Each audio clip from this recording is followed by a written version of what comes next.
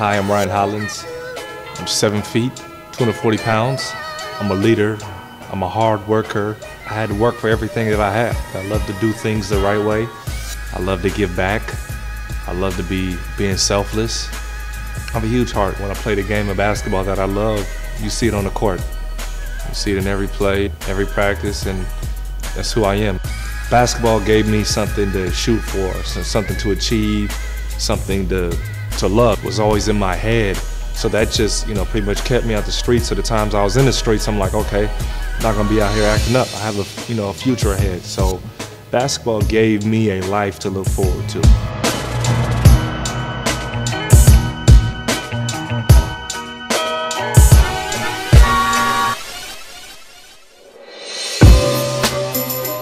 Growing up in Pasadena was tough. There are many snares just as anywhere else. You know, drugs, violence, gangs. I was definitely blessed and fortunate to be able to get out and, you know, kind of work through those, get over those obstacles with a, with a great support system around myself. Through my years at John Muir, I went from literally a guy who was the worst guy in the program, didn't make the team, didn't make the squad, and by the end of my senior year, the best player, one of the best players to ever play at John Muir High School. And I'm so thankful of the opportunity to have failed, to have gone against that tragedy and turned it in triumph. I know it, sounds crazy, but I'm the man I am today because I was cut that day. Because every time I got on the court, it was about hard work, it was about excellence, it was about bettering myself. Even when I had a little bit of success, it still wasn't enough, and I continued to work.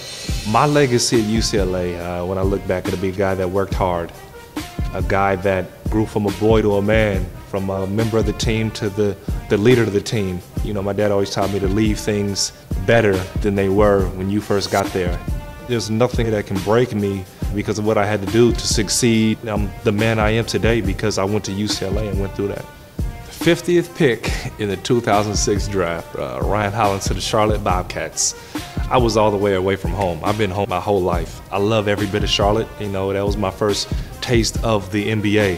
Halfway through the season, I was traded to Dallas, where I got my first taste of the playoffs. It was an exciting moment. And from there, I went on to Minnesota. And then from Minnesota, I went on to play at Cleveland, a very, very prideful city. Then from Cleveland, I went to Boston.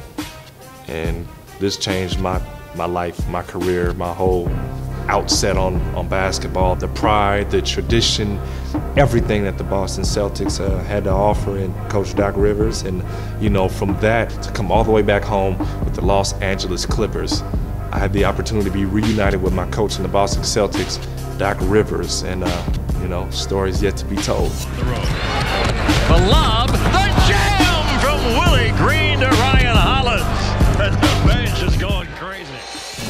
First time I get to LA, our first trip, our first games, we ship off to China. So while in Beijing, we go to the Great Wall of China. So I'm sitting there looking around with my teammates, and I, and I look out. I'm like, man, this is this is amazing. This this is life right here. And and I really had to sit back and, and slow down finally and say, wow, this little game of basketball that I started playing in the backyard took me all the way to China, halfway around the world, and people know my name. They're they're wearing our jerseys. They, they're playing with the team. I'm signing autographs. I mean, they're taking pictures. So just, just this opportunity just hit me and said, wow, this little round ball has really done wonders for myself.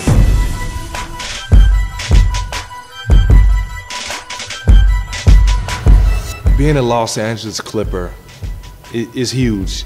So stepping into those shoes is is unreal. So every time that I make that walk through Staples Center, every time that I uh, know I step in, and I see my name across that jersey. I mean, I just have a hometown pride for Pasadena, for Los Angeles, for everything that I grew up in. Taking that into effect, it's everything to me, and it's a part of success. I feel like the NBA is an honor, but beyond that honor, I'm representing my hometown my people. I'm, I'm not just playing for any people, I'm playing for my people. What I grew up watching, what I grew up seeing, you know, representing my people every time that I step on the court. You know, I see the opportunity that basketball has given me to, you know, give back to my city. When I made the decision to come back to John Muir High School and, you know, throw my basketball camp, I didn't expect it, but I had probably the most rewarding time working with the kids, exchanging life lessons. I had to look up and realize that I'm that Jacque Vaughn now. I'm that Stacey Augmon. I'm that Jackie Robinson, you know, coming out of John Muir High School. I was once that camper. I've seen everything come around full circle, so this was my little piece to give back to them, to give back to Pasadena, to give back to myself. As a veteran in the NBA, I had to start looking past basketball. So in my eighth year, I had the opportunity to help open a restaurant, Home Beverly Hills. In addition to that, pursue a career in broadcasting, talk basketball, the game I love, and uh, get paid to do it. Fox Sports West has allowed me to do some TV things, gave me the opportunity to blog. I've been able to do some radio for ESPN 710, being able to brand myself while playing to set myself up for after basketball, uh, building that legacy and having those opportunities. Aside from basketball, I'm a real tech guy. So I love to see the new video games, the new gadgets, any of the new technology that I can get my hands on or, or use. I mean, I love it. I'm a huge Madden guy, 2K, and whatever new game may be, you know, I love to get out and, uh, you know, experience it and try it out.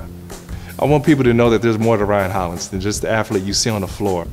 I'm a family man and a great father at that a member of the community just like anybody else. I really love to give back and to give what was once given to me. I'm so appreciative of the opportunities that I've had and the people that have helped me grow, from uh, my parents to the mentors and whatnot. I want to thank everybody for that and know that I'm working hard to better myself and everybody around me. That's who Ryan Hollins is.